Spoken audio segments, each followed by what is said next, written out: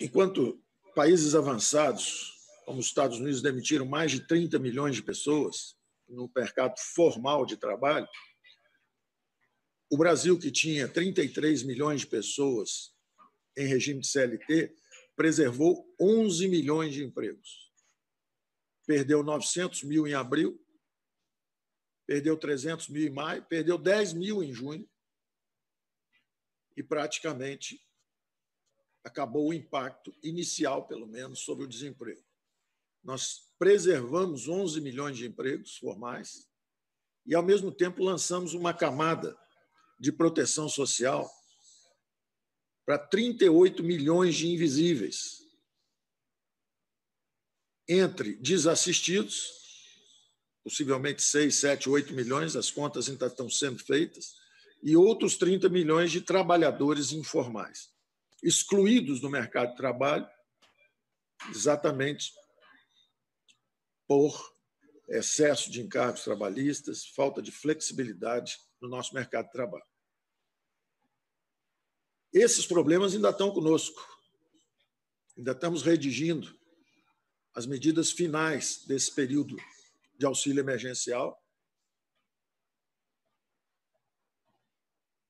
Medidas de crédito que foram anunciadas na semana passada, com o dinheiro finalmente chegando na ponta.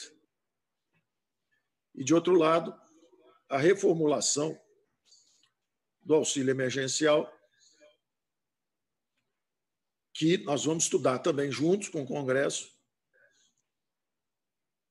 dentro de um contexto que estamos ainda ensaiando sobre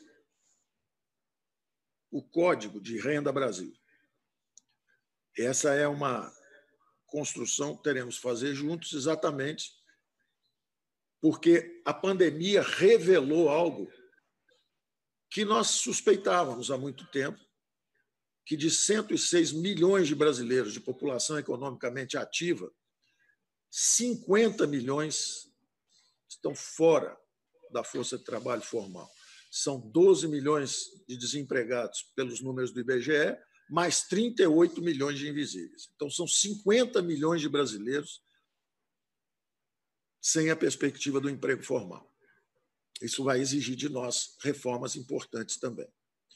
Bom, dentro dessa floresta, voltamos agora, ainda sem terminarmos o esforço emergencial, porque ainda há um, dois meses pela frente de dificuldades, pelo menos, mas já estamos voltando. E, nesse sentido, de novo, eu reforço que o Congresso brasileiro está surpreendendo o mundo. O ano passado, fizemos juntos uma reforma da Previdência que países avançados não conseguiram fazer.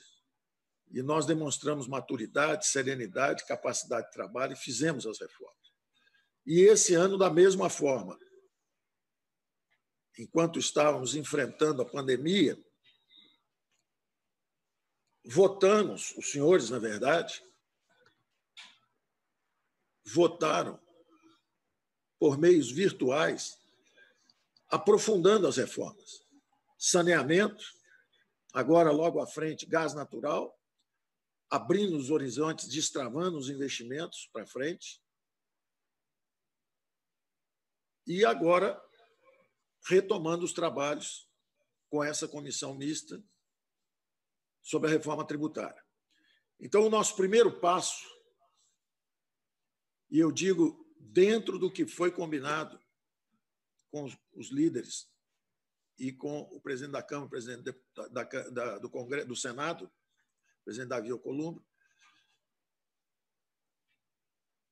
nós retomamos a reforma com o espírito dentro do combinado completamente construtivo. Em vez de mandarmos uma PEC que pudesse colidir com duas outras PECs que já estão no Congresso, a PEC do deputado Baleia Rossi, de um lado, que aborda os impostos sobre consumo, de outro lado, a PEC que está no Senado, do ex-deputado Rauli, que aborda outros impostos sobre consumo, impostos indiretos, imposto de renda, ela é mais ampla. Nós vamos mandando, então,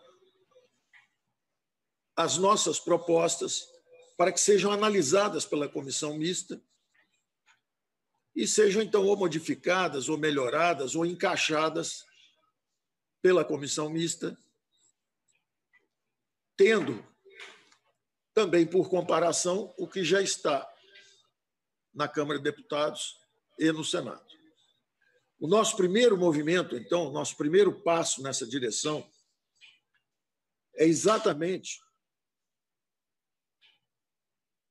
o primeiro grande imposto sobre consumo, que é um tormento, é parte do manicômio tributário brasileiro.